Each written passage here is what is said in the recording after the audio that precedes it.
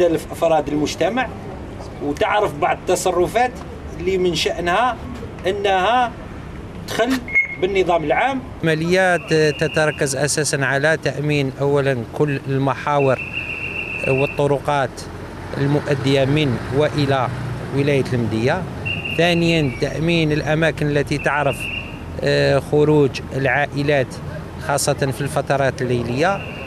بالإضافة إلى القيام بمداهمة مشتركة لأوكار آه، الجريمة. الهدف منها توفير أحسن الظروف الأمنية من أجل تمكين العائلة الجزائرية من التمتع والاحتفال بهذه المناسبة السعيدة. يتم يتم ضمان أكبر أكثر سيولة بالدرجة الأولى لحركة المرور وت- وكذلك تأمين الفضاءات التي تعتادها العائله